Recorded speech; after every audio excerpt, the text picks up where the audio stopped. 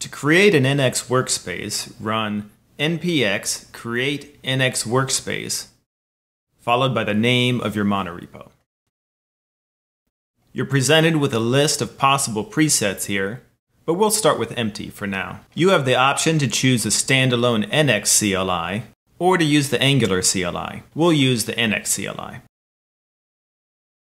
Now that I've opened the my.org folder inside of VS Code, we can see what files NX has generated for us. All the code in an NX workspace lives inside of the apps and libs folders. Apps are the main entry point for a runnable application. We recommend keeping apps as lightweight as possible, with all the heavy lifting being done by libraries that are imported by each app. The tools folder is for scripts that act on your code, like database scripts or deploy scripts and also custom schematics, which are scripts that NX uses to create or modify your existing code.